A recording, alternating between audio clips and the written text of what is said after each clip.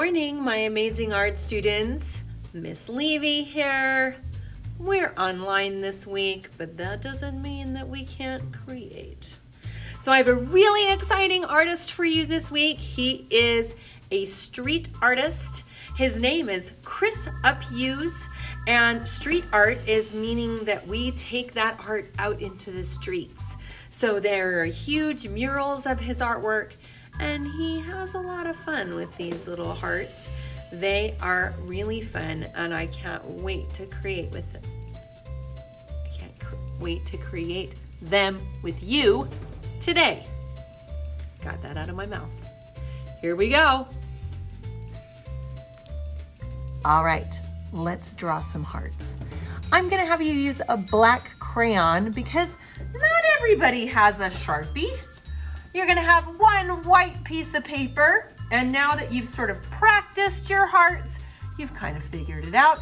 You know that you have to have a minimum of five, but you can do more than five, just a minimum of five. And if I'm designing like Chris Uphues, some of my hearts are really big and some of them are smaller. So, and they can overlap each other. So I'm gonna use this black crayon so that we can see really clearly.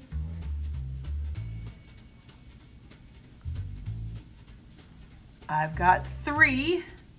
Some of them can be really wide and fat. Some of them can be really skinny. All gonna have their own personality. And the fun part about them is that Chris Uphues, he likes to make them all have a happy face to them. So next we'll have to put some faces on ours. And I'm gonna um, link that idea sheet next so you can pause the video to get some ideas. Maybe I'll do a really skinny one along the side. Okay, one, two, three, four, five, six, seven, eight. I know that interesting compositions are odd numbers, so I'm gonna do nine of them. All right, so I've got nine hearts all drawn and outlined with a black crayon. Here's the idea sheet.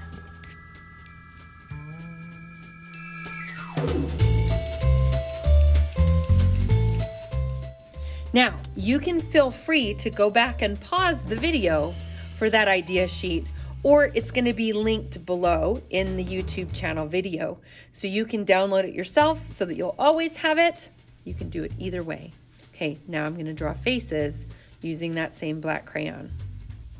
Okay, I'm gonna look at my idea sheet. You know, your eyes are kind of where I like to start. Okay, so you can do some circles. Maybe this particular heart is wearing glasses. If you are in my third grade classes, we were working on some of these faces before we have used them in a couple different places.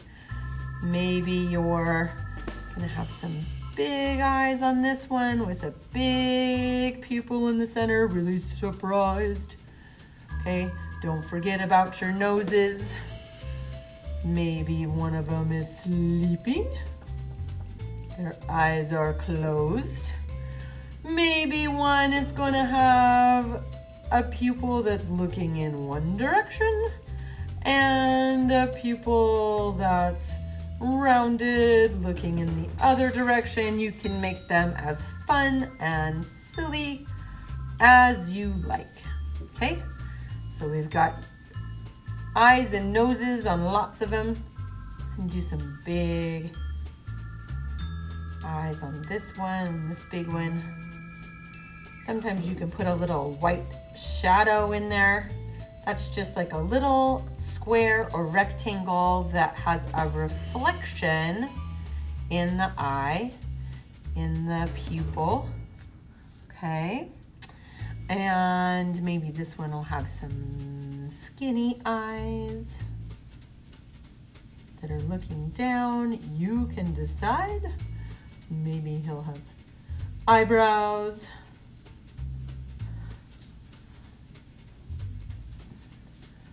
Okay, now gets to the mouths. Mouths can be funny. Now these hearts can be talking to one another. Okay, they can just have a big smile on their faces. They could be laughing. And sometimes you can see the tongue in there when they're laughing. Um, maybe they have big teeth. Maybe they have one tooth.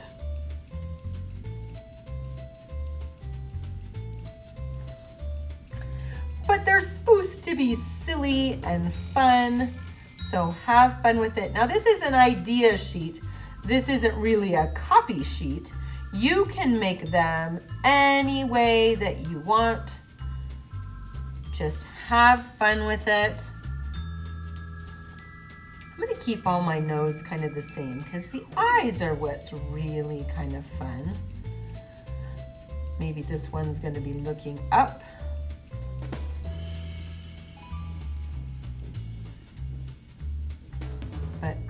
Uphues wants everybody to have some fun with this and make some really fun and silly faces.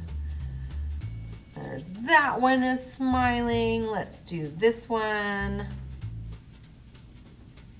with his tongue that you can see. And this last one, maybe he has his tongue out. Maybe he has a silly tongue.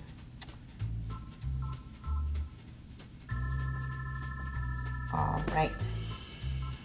So I have all my silly hearts. Ta-da!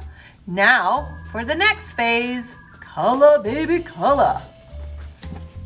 Okay, so I have the benefit of having a big bowl of markers, but any markers will do, but you actually do want to have them be water-based markers. So Crayola are really great for that. And they have a, a tip to them where that's kind of slanted. So they have a point that you can do fine line with, but if you turn it on its side, you're gonna get a nice big fat line on the inside. So we're gonna go around the inside of our hearts with a nice big fat line. Now you can decide what color you want your hearts to be they can be any color you want. You are the artist. You can decide. Um, but I'm gonna make them all different, or at least try to. I might have a couple of them that are the same, but I'm pressing really hard with the inside of what they call a chisel tip to your marker. So it just kind of has that fat, wide side to it. Okay, so you wanna do a nice, big, thick line on the inside. And Chris Uphues, his goal for these was to make everybody happy. So try and put some fun, happy faces on the inside of these hearts. Make them all individual and different. This blue needs to be a little bit darker so we can make a nice big blue heart. Let's see, maybe a pink heart. Oh, I forgot a mouth on that one. Let me draw a mouth on that one. Let's make this one pink. Gotta have some pink hearts. Boys will say no. Boys, if you wanna make all yours purple, that's fine with me. Or blue. Um, where's my red? Hmm, red, where are you? There's red. Let's make this one red.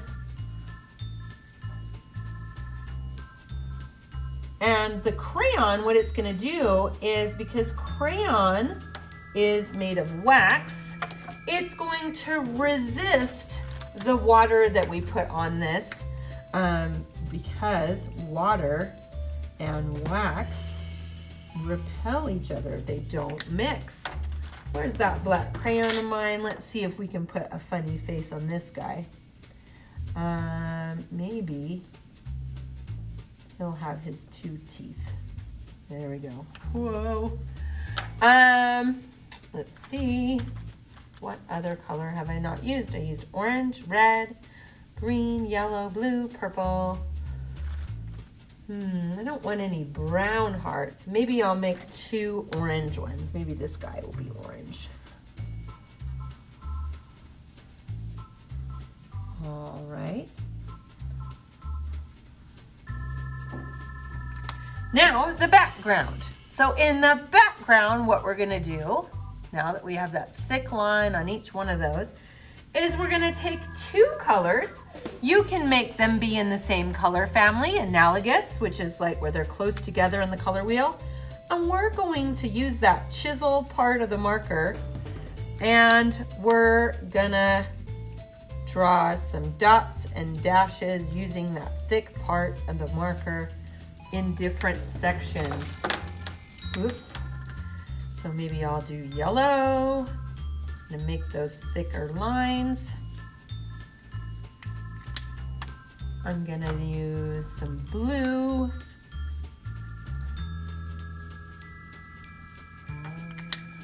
I'm gonna use some pink same colors I used everywhere else.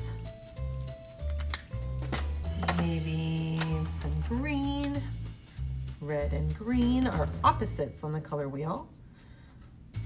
They look great together because they're opposites. And some blue and green. It's like a heart party.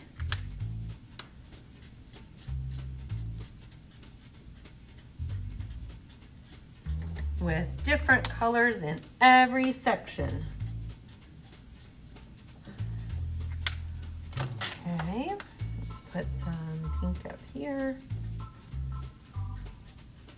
Little dots and dashes and lines. Let's put some yellow in here. And you want two colors, at least two colors in every section.